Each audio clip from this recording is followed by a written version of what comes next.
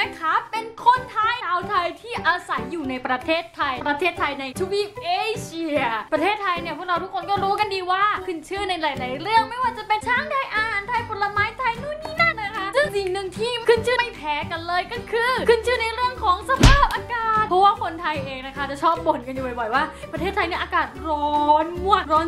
สุด ๆ นะคะโอ้ร้อนละลายทุกคนก็จะบ่นพูดถึงแต่ข้อเสียของมันจะบ่นแต่ว่า อากาศร้อนมันไม่ดีมันร้อน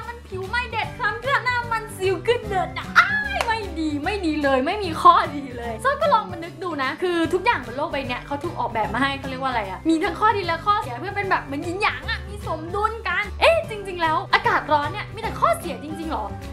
มันก็คงจะมีข้อดีบ้างอะเนาะมีไหมอืมข้อดีมีไหมมีไหมข้อดีมีไม่มีมั้งอืม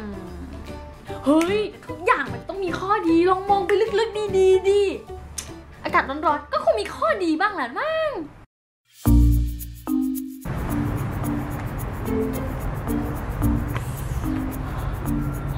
ร้อนใช่ไหม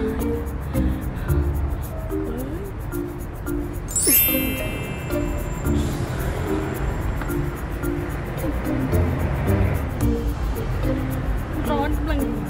มา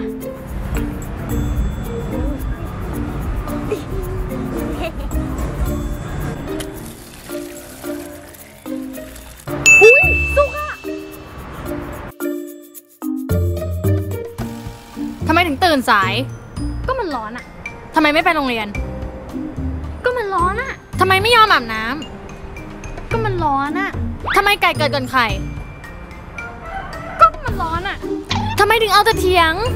ก็มันร้อนอะต้นไม้สั่งเคอแสงเพื่อหาอาหาร อร่อยไม่พออิ่มด้วยเออ